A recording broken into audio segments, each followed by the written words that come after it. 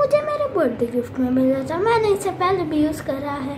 चलो वापस से करते हैं। तो ये सब है हमारे पास। ये अपने फिंगर्स रखने के लिए है। ये कॉटन्स ये थोड़े स्टिकर्स नेल्स पे लगाने के लिए। और भी ही बहुत सारी चीज़ें हैं। इवन इसमें नेल पॉलिश भी दी थी। चलो इन्हें यूज़ करके देखते हैं। वैसे मैंने इस वाले पे तो पहले से स्टिकर लगाया अब इस वाले पे भी लगा देते हैं। ये देखे, मैंने इस वाले पे तो लगा ही दिया।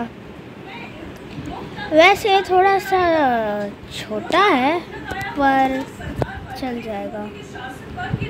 को दिखाती हूँ।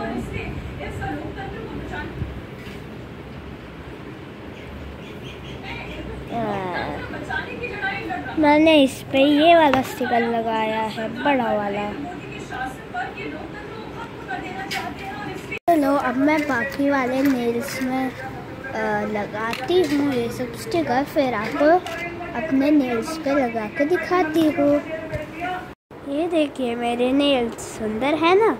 जिन जिन नेल्स थे नहीं आ, ये जो बने बनाए उन पे मैंने, जो मैंने कलर किए थे, वो लगा दिए।